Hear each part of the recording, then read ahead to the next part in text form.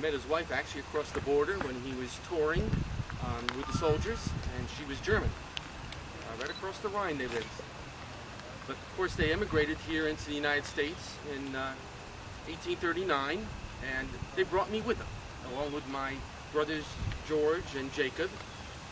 So we were actually in the potting trade. Um, I, only being five years old, watched, kind of interested, because uh, even at that early age, you had to consider that your, your future trade. Uh, so of course my father originally started working at the Main Street Pottery, eventually was leasing it, and eventually from that point became an owner. Jacob Caire, my brother, he ended up actually owning the Union Street Pottery. So they were semi in competition with each other. So I worked both potteries, you know, at the same time. Uh, Poughkeepsie had just developed the public school system. So I was one of the early um, relatively poor individuals who got to benefit from the public schools. Uh, eventually, when I was 16 years old, after learning much of the trade from my family, I decided to go out on my own and I became a journeyman potter. So I was potting over in Hartford, Connecticut, as well as um, Amboy, New Jersey. The interesting thing about stoneware pottery is basically how it's made. And uh, I always had a love for, for the art because I would be able to use my hands and I was always a bit of a salesman anyway as, as far as being able to market my, my pottery. Um, in 1857, an opportunity, a business opportunity came up and I was able to acquire half of the pottery and I worked with Philip Riedinger and so we were Caire and Riedinger that was marked on our stoneware pottery. Now the pottery itself, the clay was not native to this area. So it had to be shipped up from New Jersey, which was a relatively expensive proposition, and it was raw clay, so we had to put, you know, a large quantity in what we called a pug mill. A pug mill was like a very large vat with like a wooden mallet hammer that be basically come down and pound the raw clay and be able to get the stones and the wood fibers out of it.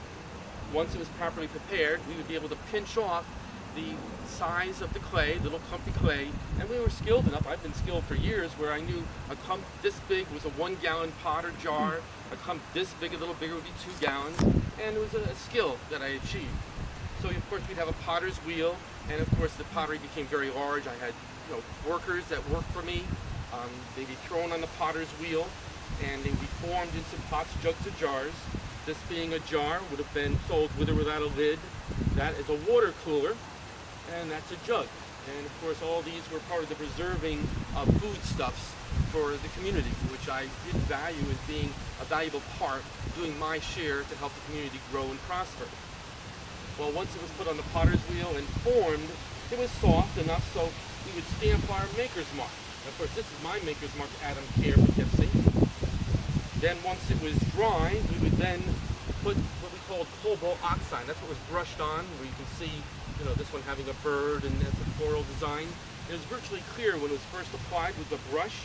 Sometimes we use the slip cup to be a little thicker design.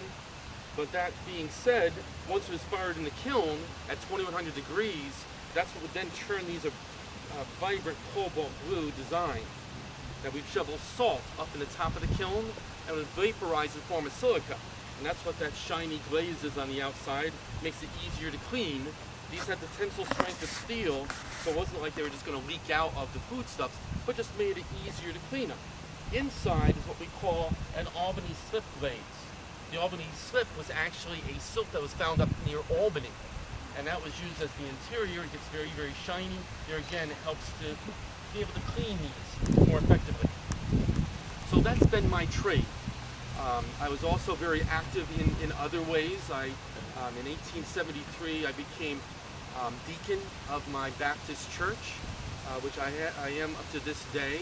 I also taught Bible school for many years at, at my church. Um, I became alderman. I was actually elected twice as an alderman. Um, once I was put on the board of supervisors for my ward.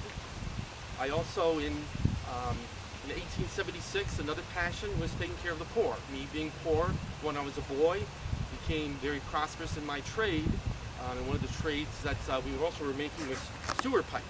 Sewer pipe was one of the valuable products that we sell as part of the utilitarian stoneware that we use to preserve foods, but the actual sewer pipe is very, very important to my community as far as transporting clean water because we have a very, very good sand filtration system that's been set up nearby my pottery. Uh, but this is all part of, of the trade that I do. But in 1876, as I say, I became a commissioner, appointed a commissioner on the board for the, um, the Alms House, which I pride myself, I've continued to be on the board for the almshouse to this day. Um, as I say, I haven't been feeling that well. I seem to have some heart palpitations. But um, anybody have the time? Because I have to be back at, at the pottery by uh, quarter, uh, I think it's um, half past 11. I'm supposed to meet the Reverend, what was his name again? Sorry, Reverend Nelson. Uh, anybody have time? Well, before I forget, I, I don't want anybody to leave yet because I would like you to be able to buy some of my wear. So I'm gonna pass this around. If you please look at my prices. I've got a full price list. Um, you can mail your, your orders to 141 Main Street. Please, please don't forget. Um, or if you want to leave an order with me now today, because you know the, the jars and the jugs are sold by the dozen. And I've got the, the listing there. I know most people don't need a dozen water coolers, so I do sell them individually, one or two. And I also do special orders on request. There's a lot of competition on the market. I've had schoolgirls from Vassar that come down and we have them hand and slice their names on little mugs and souvenirs for, you know, the fact that of course Matthew Vassar was a was a beer bottler and they of course are able to get little beer mugs from us as a souvenir of graduating from Vassar. So these are all things I do. There's special requests as far as forms, um, I also do special designs. If you want a specially decorated pieces for an anniversary, um, we do have stock designs of birds on stumps, birds on branches. Um, we have um, uh, done um, pecking chickens. If anybody wants a pecking chicken design, these are all readily available in my pottery. Uh, floral designs are very, very popular. Uh, so whatever your needs are, I'm here to serve. And I serve in so many different ways. I think I better sit down now. I'm, I'm getting a little bit uh, winded, and uh, I say uh, at 62, I've been suffering from this heart ailment, and uh, uh, I do have to meet the Reverend. So uh, please feel free to, to, send your orders. Now, anyone have any questions before I, I end my my, my more or less sermon on, on selling my stoneware? Any questions at all? Right here. Well, I'm glad that. Oh, yes. Could you tell us a little bit about Ella or Ellen Caire? Well, yeah, Ellen Caire was one of the family members. Uh, that's uh, I'm not real well versed on her at this moment to give you a full dissertation on her. Uh, but that's one of the things that I've been researching the different Caire members, mm -hmm. and so I don't have a lot of material that I can give you initially. I've been trying to do a lot on Adam Caire and, and the, the main pottery owners. I do apologize, I don't have the information right. right How many daughters did you have? Um, as far as my family members, I actually know I actually have them listed right on the um, over here. Actually, Adam is my wife. Um, we did have. Well, see, that's the thing. You know, I'm not even that well versed. You probably know more about my, my daughters than I well, do. he's not feeling well, you know. so, how many children did I have? I seem to have forgotten that part. I thought Ellen was one of those children. yeah.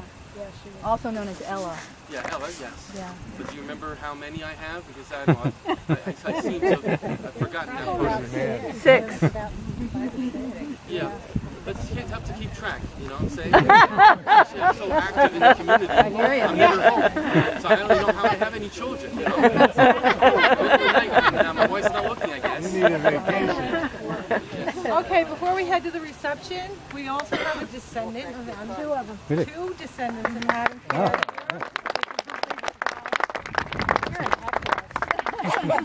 I'm bad. But I thought you'd know.